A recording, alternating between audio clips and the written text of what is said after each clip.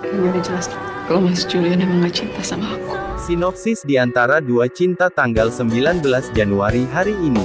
Pada saat itu Safira terlihat sedang perjalanan dengan mengendarai mobil namun tidak sengaja melihat Julian sedang duduk bersama dengan Dania. Julian dan Dania saat itu terlihat sedang memberikan air mineral dan terlihat bercanda.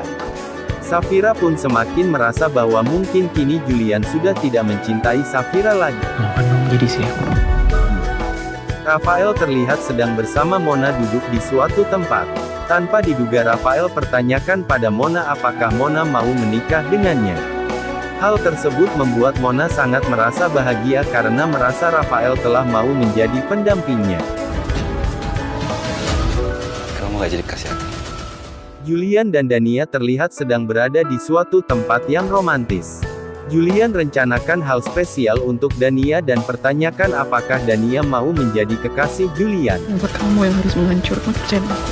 Safira pun terlihat masih merasa gelisah setelah melihat Julian sedang bersama Dania sebelumnya.